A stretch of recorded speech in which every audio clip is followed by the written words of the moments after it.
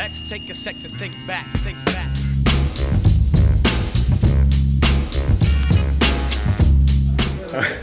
you know, it's a loaded question, man. I mean, it's like at this point in my life, it's different than before because I'm trying to like feed feed my family and like do this for a living. So there's a little bit less time to be bitter. You know, I used to feel that way. I mean, at the end of the day, I feel that way. I guess it happens to, to, to music in general. I mean, I guess it's happened to like, I mean, it happened with rock and roll with Elvis. You know, people weren't really aware where he was like stealing things from. I guess it's happening now. I, I have more of a problem with like uh, people who are on and selling millions of records that don't really go back and put people on that helped influence them. You know, why why isn't Kool G Rap on platinum records right now? Kool G Rap should be a millionaire. Kane should be a millionaire.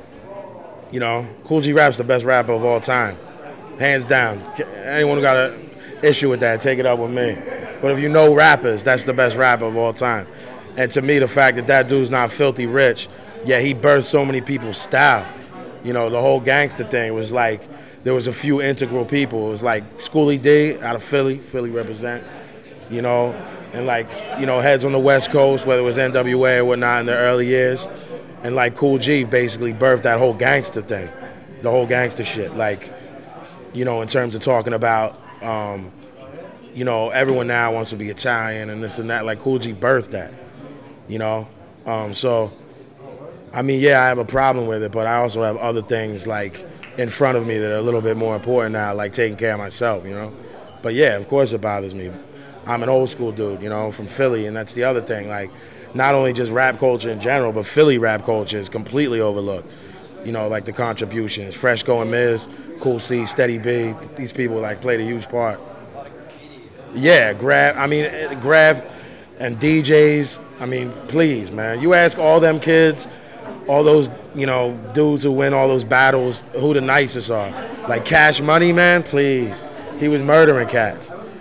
You know, Jazzy Jeff. Like pe- people, like unfortunately, like associate him with Will and things and soft stuff. Like Jeff was and still is one of the best DJs ever, and is, is heavily involved in, in in, in rap music still. You know, it's it's beating a dead horse at this point. You can't you can't really teach people things that they're not willing to learn. You know, it's like all this stuff out today. If that's the first thing they listen to, that's old school to them. You know, when '96 is old school to you, I really don't have much to like discuss with you. You know what I mean? It's pretty much I'm like too old to argue, you know, but too young to care. You know. well, I'm like a 70s baby, 77. So like, by the time I was like four or five or six, uh, in like the real, real early 80s, I was like begging my parents to pay for b-boy lessons. So that's what I did first. And then um, I rapped in my second grade um, talent show over Candy Girl by New Edition. But no one will ever see. My mother's got the video, but that's never coming out. But I had two homeboys. They were twins that I went to school with in South Philly, and they were my backup dancers. And I like wrote my own little rap over Candy Girl. So that was like, you know, 85 maybe. Um, I really like wanted to really. Um, this it was a record called "This Cuts Got Flavor" by Latee. It was produced by 45 King.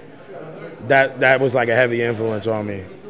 Um, you know, a lot a lot of the early stuff Mark the 45 King did and the early Philly stuff, LG, Lawrence Goodman, Hilltop Hustlers. Um, so by the mid 80s, I knew that this is what I wanted to do.